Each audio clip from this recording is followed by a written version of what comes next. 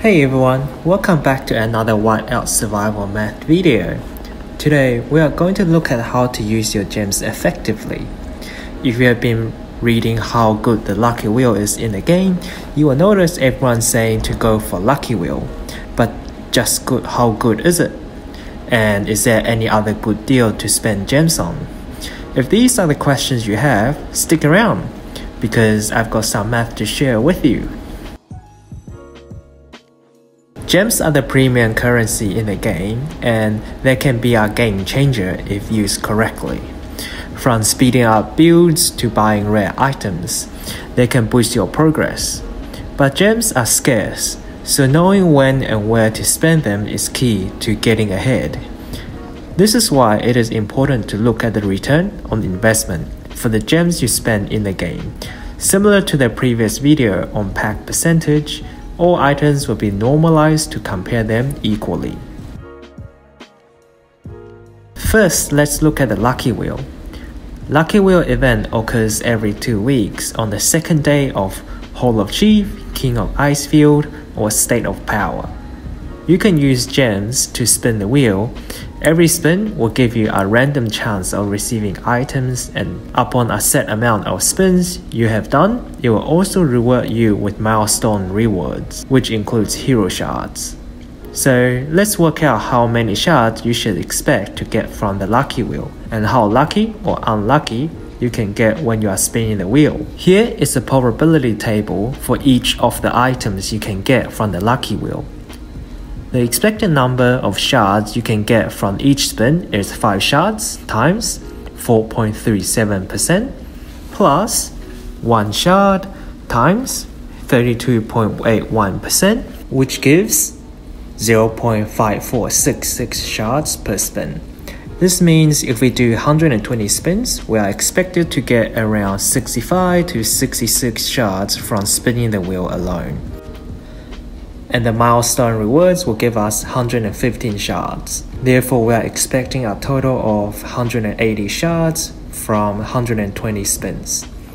If you look at the 95% confidence interval for the number of shards we will get from spinning 120 times, it's around 170 to 191 shards. So if you are very unlucky and get less than 170, Know that we all have bad days sometimes, and that is okay. But if you get lucky and get more than 191 shards, please know that we are all coming after you. Let's move on to the cost of spinning the wheel 120 times. Each spin costs 1500 gems, and if you do 10 spins at a time, one of the spin will be free. So the cost of each 10 spin is 13,500 gems. We need to do 10 spins 12 times, so the total cost in gems will be 13,500 times 12, which is 162,000 gems to complete 120 spins. Something worth noting is we will always get 3 lucky chips when lucky wheel comes around, and we will get an additional 5 lucky chips during SVS, so the cost will go down even further. If we now work out the cost of gems for each shard, we get 900 gems per hero shard. Some of you may be wondering, what about 70 spins? Well, let's also do math for that. 70 spins will yield an expected number of 38.3 shards from spinning the wheel. The milestone reward will give you 65 shards. So in total, we are expecting around 103 hero shards from 70 spins. The cost of spinning the wheel 70 times is 13.5 thousand times 7, which gives 94,500 gems in total. The gems per shard are therefore approximately 970 gems per shard. This is around a 1 to 2% difference between 120 spins and 70 spins. Which means whether you do 120 or 70 spins, there is no noticeable difference in terms of gems efficiency. However, Lucky Wheel only comes once every two weeks, so for people who have good amount of gems saved up, you should always go for 120 spins. But for people who only have enough for 70 spins, you should not skip until the next one as you'll run into opportunity cost for holding the gems in your backpack. Here are the packs for Lucky Wheel in Australian dollar. The pack percentage is very deceiving in these packs because it is fully inflated with a bunch of garbage items. We will only need these items in the early game, around the time before we hit Fire Crystal levels. Once our top 5 heroes are level 80 and all mythic hero skills are maxed, the value of this pack drop all the way down to 600%, which is just as bad as the regular packs. This is why I do not recommend any of these packs and we should just save up gems from other packs or in-game events. Hall of Hero is a weekly recurring shop from Sunday to Tuesday. It offers hero shards from the previous generation up to the current generation. And for widgets, it only offers previous generations. Each current generation's hero shard will cost 10 of the Mark of Valor to obtain, which is equivalent to 1500 gems per hero shard. The widgets of the previous generation will cost either 18 or 16 Marks of Valor to obtain, which is either 2700 gems or 2400 gems per widget respectively. This is still very good compared to the original cost of previous widgets, which is 4000 gems per widget of previous generation. Unlocking the extra construction queue for 2 days with 1000 gems is one of the best early investments you can make. Extra construction queue is theoretically a 48 hours construction speed up in terms of growth, this is equivalent to 38.4 thousand gems worth of construction speedup, which is an insane value in the early game. The same thing goes for the extra construction queue pack. It is a good pack for the early game. It will take around 80 to 90 days to hit Furnace 30, so this permanent construction queue will give around 42.5 thousand gems worth of value, which is around 2800% value for the queue alone. However, in the later stage of the game, the extra construction queue is pretty much useless because you either max out all your buildings or you don't have enough fire crystals to continue upgrade your buildings. This is also why Zinman is not a good hero to invest in because the construction speed bonus quickly becomes obsolete. Activating 30 days VIP is usually a pretty good deal for 10,000 gems from VIP 4 onwards because at VIP 4 we start getting one purple hero shard every day. Each is valued at 1000 gems so over 30 days we will get 30,000 gems worth of purple shards on top of the VIP benefits which includes 10% construction speed bonus. Although this construction speed bonus is obsolete once we hit fire crystal level, in the early game this will help a lot in conjunction with the extra construction queue. The benefit of VIP gets even more at level 6, which will get another March queue. This extra March queue is just invaluable. It will help with a lot of events in the game including the Frostfire Mine, Bear Hunt, Crazy Joe, Beast Hunt Day for SVS, Resource Gathering Day for Alliance Showdown and SVS, you get the point. Another big spike up in value is VIP level 7. From this level, we will start getting mythic shards, which are valued at 5000 gems per shard. So over 30 days, we'll get 150,000 gems worth of mythic shards for just 10,000 gems. For a more realistic comparison, I'll only be counting the purple and gold hero shards and ignore the hero skill books and the buff you get from VIP. By the way, if you are considering buying the monthly VIP card just to activate the VIP, and you have a lot of stamina cans that you can't finish, then I definitely do not recommend this card. For more details, you can check out the other video I made, the link is in the description below. The VIP shop has a lot of useful items selling at a discounted price.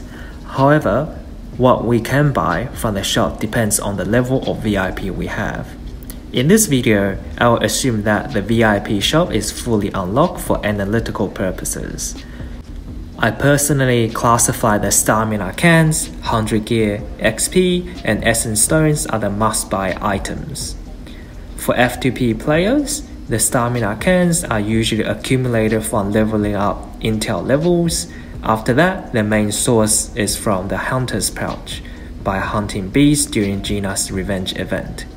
So being able to buy 5 more cans at a third of the price each week is invaluable for F2P players.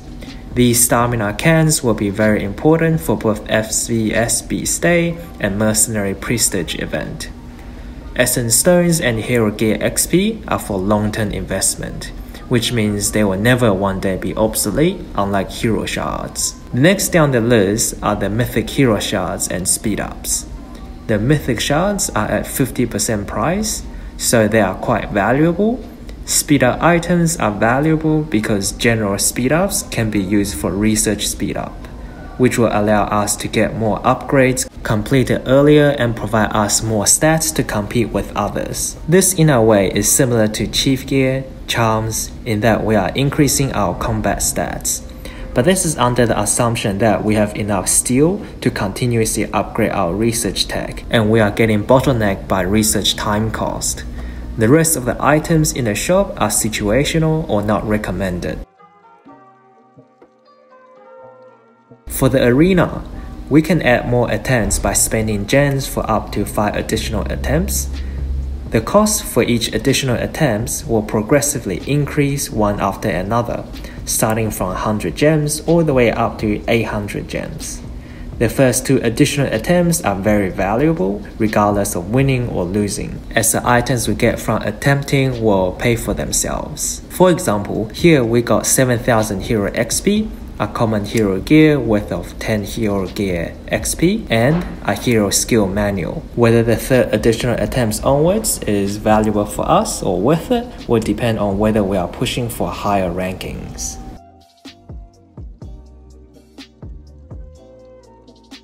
We can refresh the trucks in the Tundra Trade Route event when we run out of the tickets to refresh. The cost for refreshing the truck starts from 100 gems, and each subsequent refresh will cost 100 additional gems, up to 500 gems. This is usually a good deal as you can turn a truck that looks like this into something that looks like this, with just 1500 gems. The workout of the difference in equivalent gems for the items in these two trucks is shown here. A big difference for just 1500 gems. For Alliance mobilization, the first extra attempts each day is free and the next three are 50 gems each. It's a good deal to have 3 extra attempts with just 150 gems. This will help us to complete all 4 exclusive bonus missions to help the alliance and personal score. What is the best way to spend gems really depends on the situation we are in. For example, Lucky Wheel has an insane value, but in Gen 1, Zinman is not really a beneficial hero and VIP activation will also depends on the VIP level you are in. If we assume all items are valuable, then the order will go something that looks like this. This plot shows the equivalent discount we get from using the gems in the manner specified on the left. For example, Activating VIP 7 means we will get 30 mythic hero shards, so the discount we get is 1 minus 10,000 gems from activating VIP divided by the total gem value of 30 mythic shards, which gives us a total of 93% discount from the full price. This is an extremely high discount and if we look at the gem's effective value, we are getting 1500% more shards with activating VIP 7. What is even crazier is using 1000 gems to activate the extra construction queue, giving us around 3840% more speed up than the full price speed up. Lucky Wheels, on the other hand, is giving us around 550 more shards, which is around 3 times less cost effective compared to activating VIP 7.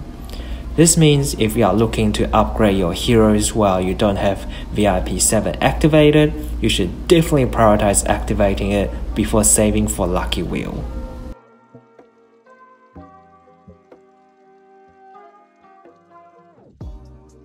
Thanks for watching. If you have any questions regarding the content of this video, feel free to ask in the comment section below. I'll be answering all the questions. If you found the content of this video helpful, it would be great if you could give me a thumbs up for this video. It will help the YouTube algorithm and if you would like to discuss more, consider joining our Discord server. The link is in the description below. We have a lot of people working on the game analytics and testings. Otherwise, I will see you in the next one.